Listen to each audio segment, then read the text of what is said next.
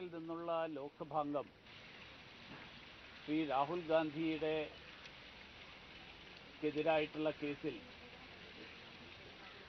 സൂറത്തിലെ കോടതി അദ്ദേഹത്തിനെതിരായിട്ട് പുറപ്പെടുവിച്ച വിധിക്കെതിരായി കോൺഗ്രസ് പ്രതിഷേധത്തിലാണ്.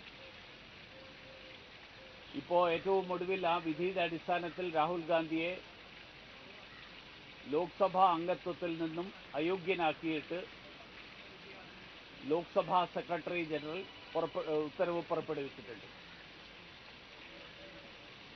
കോടതി വിധിക്കെതിരായി തെരുവിൽ പ്രതിഷേധിക്കുന്നതിനർത്ഥം ജനാധിപത്യ സംവിധാനങ്ങളെയും ഇന്ത്യൻ ഭരണഘടനയെയും വെല്ലുവിളിക്കുക എന്നുള്ളതാണ്. പക്ഷെ ഇത് രാഹുൽ ഗാന്ധി ആദ്യമായിട്ട് ചെയ്തതല്ല. രാഹുൽ ഗാന്ധിയുടെ പാരമ്പര്യം അതാണ്. ആയിരത്തി തൊള്ളായിരത്തി എഴുപത്തി അഞ്ചിൽ ഇന്ദിരാഗാന്ധിക്കെതിരായിട്ട് അലഹബാദ് ഹൈക്കോടതി വിധി പുറപ്പെടുവിച്ചപ്പോൾ ഈ രാജ്യം മുഴുവൻ അടിയന്തരാവസ്ഥ പ്രഖ്യാപിച്ചുകൊണ്ട് ആ കോടതി വിധിയെ മറികടക്കാനും അധികാരത്തിൽ തന്നെ തുടരാനുമുള്ള ശ്രമമാണ് അന്ന് ഇന്ദിരാഗാന്ധി നടത്തിയത്.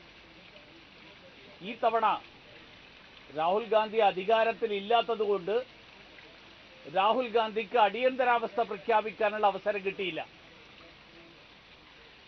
ഇവിടെ രാഹുൽ ഗാന്ധിക്കെതിരായിട്ടുള്ള വിധി ആ വിധി ഒരു സമുദായത്തെ അപമാനിച്ചു എന്നുള്ള പേരിലാണ്. ഈ രാജ്യത്തെ പിന്നോക്ക സമുദായങ്ങൾക്കെതിരായിട്ട് രാഹുൽ ഗാന്ധി നടത്തിയ പരാമർശം ആ പരാമർശം ഈ രാജ്യത്തെ പിന്നോക്ക സമുദായങ്ങൾക്ക് മുഴുവൻ വേദനയുണ്ടാക്കിയിട്ടുള്ളതാണ് പിന്നോക്ക സമുദായങ്ങളെ അപമാനിക്കുന്നതാണ്. കോടതി പലതവണ ചോദിച്ചു അദ്ദേഹത്തോട്. ഈ പ്രസ്താവന പിൻവലിച്ച് മാപ്പ് പറയാൻ തയ്യാറുണ്ടോ? അദ്ദേഹത്തിന്റെ ധാർഷ്ട്യം അദ്ദേഹത്തെ അതിന് അനുവദിച്ചില്ല. ഞാൻ എന്റെ പരാമർശത്തിൽ ഉറച്ചു നിൽക്കുന്നു. അതായത് പിന്നോക്ക സമുദായങ്ങൾക്ക് അപമാനകരമായിട്ടുള്ള പരാമർശം.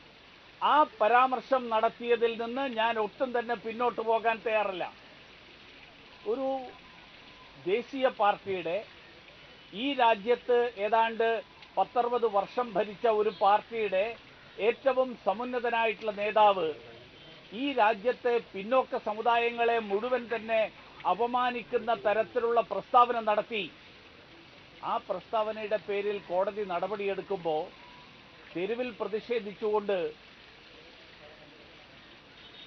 ഞാൻ പുണ്യവാളനാണ് എന്ന് വരുത്താനുള്ള ശ്രമം. ആ ശ്രമം നടത്തിയതുകൊണ്ട് കാര്യമില്ല. സത്യത്തിൽ അദ്ദേഹത്തിന്റെ പക്വതയില്ലായ്മയാണ് ഈ തരത്തിലുള്ള ഒരു സാഹചര്യം സൃഷ്ടിച്ചത്. അദ്ദേഹം ഇന്നലെ ഗാന്ധിയെക്കുറിച്ചൊക്കെ അദ്ദേഹം വാചാലമായിട്ട് പറഞ്ഞു. ഏത് ഗാന്ധിയെക്കുറിച്ചാണെന്ന് എനിക്കറിയില്ല. കാരണം അദ്ദേഹത്തിന്റെ മുത്തശ്ശി ഇന്ദിരാഗാന്ധി ഈ രാജ്യത്തെ ജനാധിപത്യ സംവിധാനങ്ങളെ മുഴുവൻ തന്നെ തച്ചുടച്ച വ്യക്തിയാണ്. ആ ഗാന്ധിയെയാണോ രാഹുൽ ഗാന്ധി പിന്തുടരുന്നത്? അതോ മഹാത്മാഗാന്ധി ശിക്ഷിക്കപ്പെട്ടപ്പോ ജാമ്യം എടുക്കാത്ത വ്യക്തിയാണ്. രാഹുൽ ഗാന്ധി ഇന്നലെ തന്നെ ജാമ്യത്തിന് വേണ്ടിയിട്ടുള്ള ശ്രമം തുടങ്ങി എന്നാണ് ഞാൻ മനസ്സിലാക്കുന്നത്.